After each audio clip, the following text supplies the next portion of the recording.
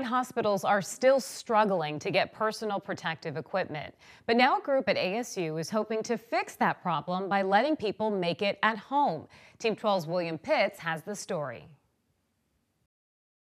A group of ASU students saw that hospitals couldn't get enough PPE. Companies couldn't provide them fast enough. The solution, let people make them at home, crowdsourcing PPE. So it's the, the face shield headband, basically. And so we're sourcing the clear material that you can see here that's being laser cut on laser cutters here on campus. Those 3D printers behind Tyler Smith would just be sitting there otherwise. No classes, no students, nothing to do. Instead, they're cranking out personal protective equipment. A handful of volunteers here assembling face shields, um, and then those face shields were boxed up and sent out. Medical staff across the country are scrambling to find PPE, face shields, masks, gowns, anything. And when classes shut down, the students at ASU's Luminosity Lab came up with an idea.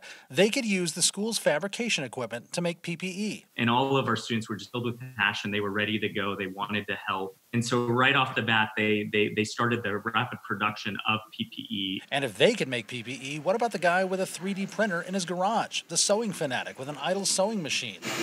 That idea turned into the PPE Response Network. Here's how it works hospitals put out the call for whatever they need. Producers, that's everyone from big manufacturing companies to Bob in his basement, sign up and pledge to make what they can. It's sterilized and taken to medical workers.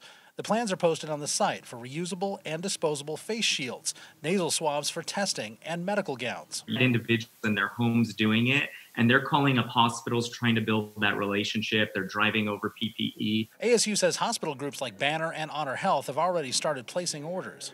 And that's exactly what a healthcare system like Banner Health needs right now. We need speed and we need a lot of great ideas.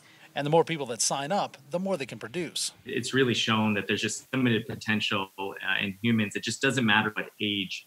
Uh, and I hope that we continue to see this creativity. William Pitts, 12 News. All right, well, thank you.